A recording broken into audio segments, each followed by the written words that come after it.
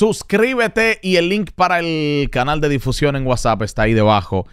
Eh, únete a nuestra plataforma Luini Corporan. Vamos a hablar de marketing que le ha salido caro a algunos artistas y que ha sido tan letal para sus carreras en el caso de algunos de que no han podido levantarse de ahí. Conocemos la historia de cómo se manejan algunos artistas de República Dominicana. Dígase que buscan la manera de cómo llamar la atención en algún nicho determinado. En el género urbano, por ejemplo, conocemos la historia de artistas como Honguito Wa.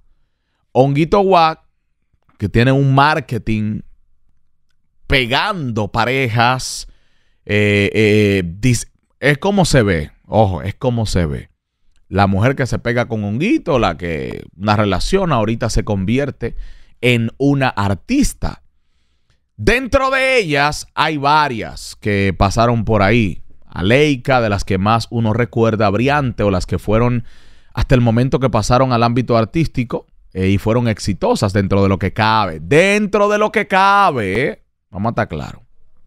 Pero este marketing al tiempo le pasa factura y voy a hablar específicamente comenzando con el caso de Honguito. Porque Honguito, y es solo tomando de partida ese, ese, ese tema de las mujeres, que hoy a propósito ando un video viral que yo espero que sea un video viejo de una situación que él tiene con su pareja actual. Honguito, el rey del marketing más mierda del mundo. Honguito, el tipo que más disparate hace y que para marketing, y ya tú sabes. Lamentablemente. Otro artista que utilizó un marketing que le pasó factura y que le trajo consecuencias fue Dillon Baby. ¿Ustedes recuerdan cuando Dillon Baby hizo el marketing de meterse en las tiendas, en la boutique, de que no estaba pagando, de que él era el más ratatá con el seguridad? ¿Recuerdan? Cuando entraba supuestamente a las discotecas armado y demás. Un marketing que le trajo consecuencias, incluso estuvo hasta privado de libertad. Oiga que, oiga que estúpidos son la mayoría de equipo de trabajo de algunos artistas. Porque le aprueban ese marketing, le hacen la segunda, no, fulano, ¿sabes? Para mover las redes, el contenido. En algún momento, gracias a Dios que lo cambié en un momento, porque yo me lo un tipo con talento que yo entiendo no necesitaba recurrir a eso. Ese marketing, lo que hizo con la perversa en su momento, que gracias a Dios se convirtió en su pareja y luego se dejaron porque no se estaban entendiendo. Eso mismo trató de hacerlo con varias mujeres y con Aleika. En su momento también se inventó lo de Yailin, que él estaba. O sea, oigan a dónde recurren algunos artistas para buscar aceptación con un marketing que a la larga no es sostenible porque no lo están basando en algo con su talento, con su carrera. Otra que hizo un marketing que no le afectó su carrera del todo, pero le trajo consecuencias en el momento fue Toquicha. Sí. Cuando Toquicha se tiró la foto en, aquel, en La Vega, para llamar la atención, un marketing, oiga bien, para llamar la atención de la prensa, el entretenimiento e irse viral. Aunque dice que la intención no, pero recuerdan esa foto ella en una ropa no adecuada para el momento. Le trajo consecuencias incluso hasta de que le prohibieron supuestamente la entrada a esa ciudad de La Vega para presentaciones y demás. ¿Qué artista tú entiendes un marketing que hay varios. Vea el contenido completo, por favor. Marketing que lo usaron así que, que le trajo consecuencias de hasta afectar su carrera. Sí, tú sabes que esto radica mucho en el movimiento urbano en República Dominicana, las controversias de que el marketing.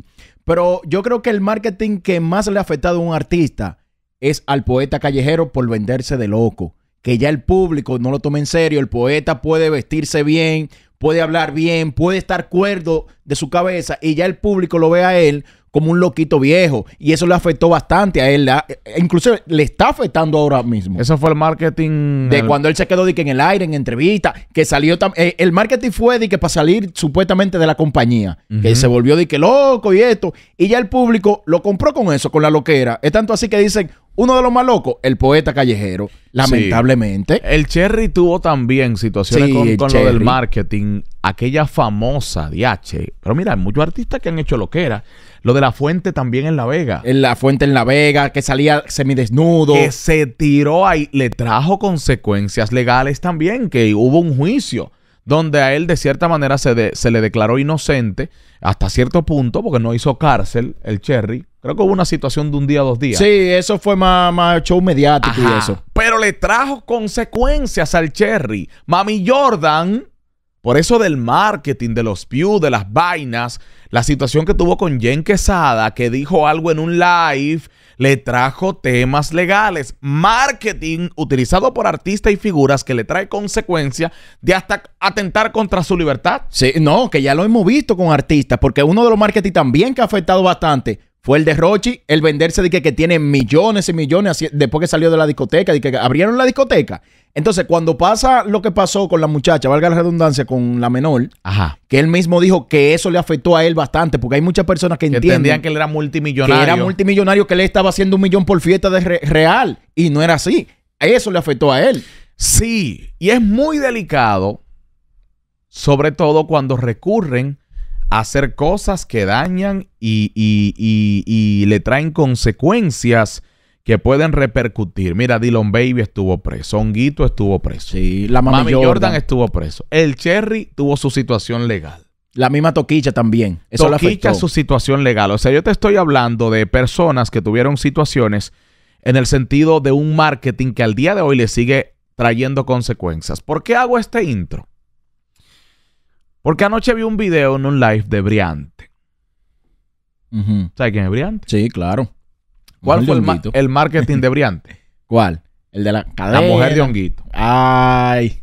La mujer de Honguito. Sí, con esa fue que ella entró. Con esa fue Sí. que ella entró al movimiento. Al día de hoy, Briante no ha podido quitarse eso de que los tigres supuestamente graben con ella, no por su talento, sino por darle, Sí. por usarla como un objeto sexual. Ya que tuvo énfasis hace poco y dijo que hay artistas y productores que utilizan la herramienta de apoyarte. El hombre es muy sexual. El hombre siempre ve a la mujer lamentablemente como un objeto sexual. Pero como ella tuvo esta situación con Honguito, lo que dicen los tigres, y, y tiene un cuerpo que breante, Sí, está, muy- está- está buena, está buena, un real. cuerpazo, un mujerón. Entonces el tipo que grabe con ella, lo que aparenta y por el desahogo que ella hizo anoche es que cuando quieren grabar se le pinta de una colaboración y como ella no entrega, como ella no da, porque si el tipo le gustara, está bien. Pero si el tipo no le gusta y ella dice no, ¿qué pasa con la colaboración? Se va a caer. Por ahí la culpable es ella. No, no, se va a caer, pero oye, ¿cómo? Oye, Sí. ¿cómo? Le dicen que entonces la pague 50 mil o 100 mil dólares. Bueno, porque la pague entonces. Sí, pero voy a mi punto. Oye, ¿por qué le está trayendo esta consecuencia? Porque lo utilizó con Honguito un marketing.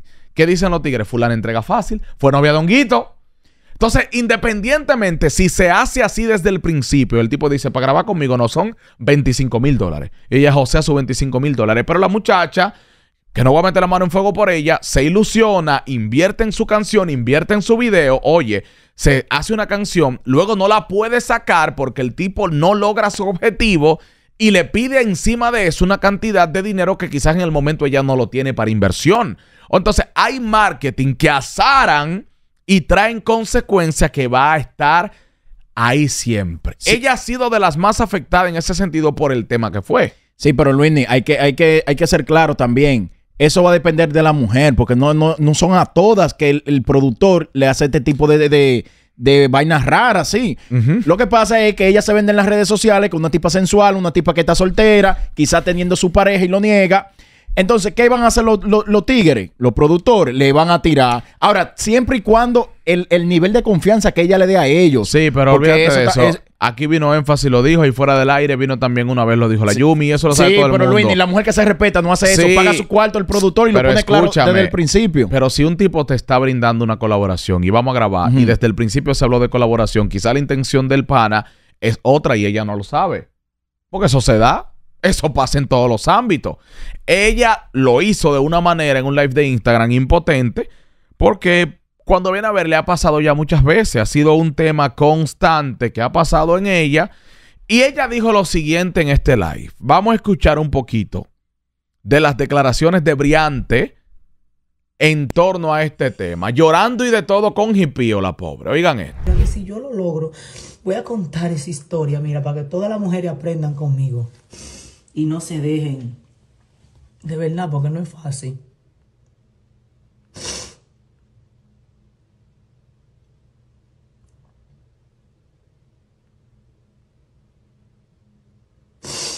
Por eso ya yo no estoy haciendo featuring en Nueva York. El que me pide un featuring a mí, yo lo siento. Yo, hice- muchísimo featuring en Nueva York y no tiran ninguno. Los que viven chismeando después diciéndome, oh, no podemos tirar el featuring que porque fulano tú no le caes bien a fulano. O porque tú... Y cuando tú averiguas por qué yo no le caigo bien a fulano, porque yo a fulano no se lo di, porque fulano cree que yo soy loca.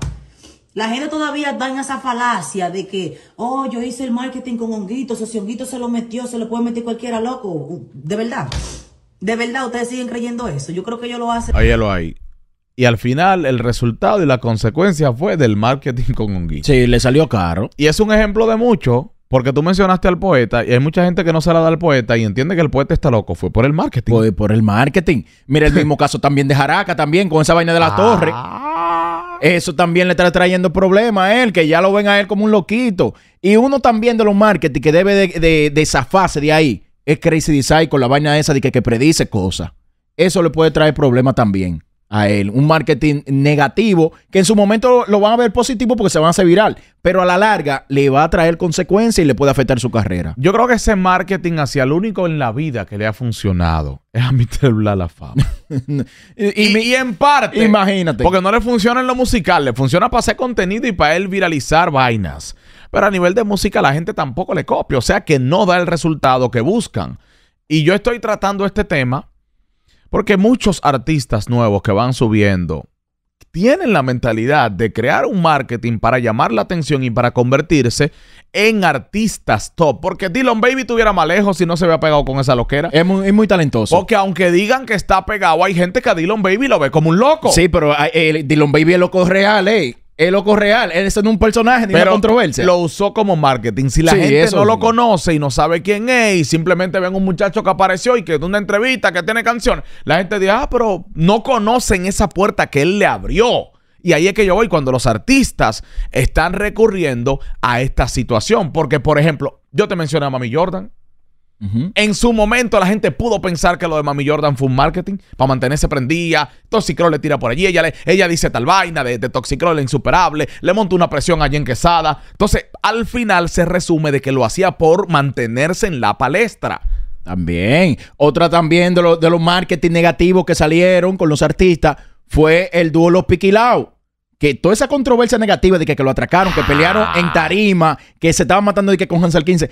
Todo eso le salió caro a ellos. Y hoy en día, de sus mismas palabras que ellos lo dijeron aquí, Sí. que la controversia le afectaron a ellos con su público. Entonces, y yo creo, yo en lo personal, entiendo que toda esta controversia que los artistas urbanos hacen fue la que dañó el movimiento urbano, que ya nadie cree en él y la gente lo vive eh, señalando nadie, a ellos. Nadie le interesa la vida de muchos artistas. ¿Tú sabes por qué? Porque se olvidaron de dar por lo que la gente lo estaba siguiendo, que era música, música y música únicamente. Lamentablemente. Los muchachos tienen que ahora mismo tener su cabeza centrada. No son todos los artistas que se pegan de que con, con controversia. Es más, los nuevos talentos no deberían ni hacer controversia porque hemos visto aquí los resultados de que casi todos estos muchachos que están pegados ahora, J1, Jeezy, todos esos chamaquitos, Yaisel, se pegaron sin tener que recurrir a las controversias. No lo necesitaron. Fue con su talento y a, y a base de su talento, miren toda la colaboración importante que le ha llegado a su carrera. O sea, no, no tuvieron que ir a hacer una payasería, de que, que se fue en rojo como el tonto, una vaina, nada de eso. Ese otro tontón, Tontón y el tonto también. coño, por el tonto por lo menos pegó una canción dura. Está bien que sí. Sí. Con lo de, lo de la vez que hizo en el peaje. Pero ayer, ayer el Tito ofendió con lo que hablamos ayer del TikTok. Y- el video en, en YouTube lo publiqué muy tarde y no notificó. Y, y- y- me dijeron que, que hay un artista que tal y que, que Luis se ofendió y que fulano. Y bueno, cójanlo de consejo si a ustedes les interesa. Si no, agarre como uno usa un papel de baño y se lo pasa por donde usted sabe. Tú sabes que yo a- ayer como que me arrepentí de decir varias cosas. Porque acabando ese comentario que tú lo publicaste, entré yo a TikTok y vi uno de esos artistas que hablamos de eso aquí. Dije con la cara así llena de harina, harina blanca. ¿Tú le pasaste paño tibio? Ah, no, yo le dije, por eso es, por eso es la Ah, vaina.